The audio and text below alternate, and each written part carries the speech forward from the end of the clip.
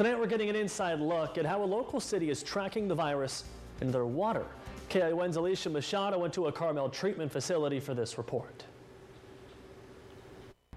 The general manager says they saw spikes in the presence of coronavirus in the raw sewage in the weeks after Memorial Day weekend and the 4th of July weekend. When you flush the toilet,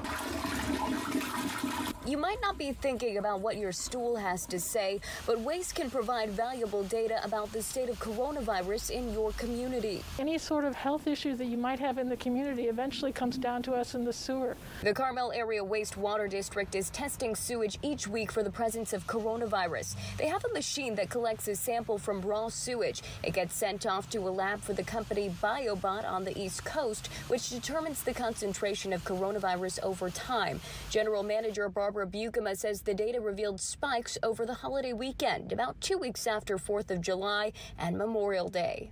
While we cannot definitively say, you know, that this is the, the tourist uh, component, I think common sense kind of tells you that people are coming into the area and that may be behind the spike that we're seeing. While the health department says a lot of transmissions in Monterey County are from people spreading the virus within their household, busy weekends, travelers, and people congregating in one area can contribute to the spread.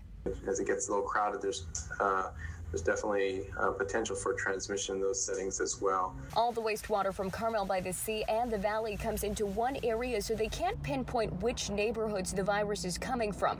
The wastewater facility plans to test the water for at least six months and may extend if needed. The reclaimed water flows to golf courses like Poppy Hills and Pebble Beach to water the grass, but it goes through a disinfection and filtration process to make sure that all evidence of the virus is gone.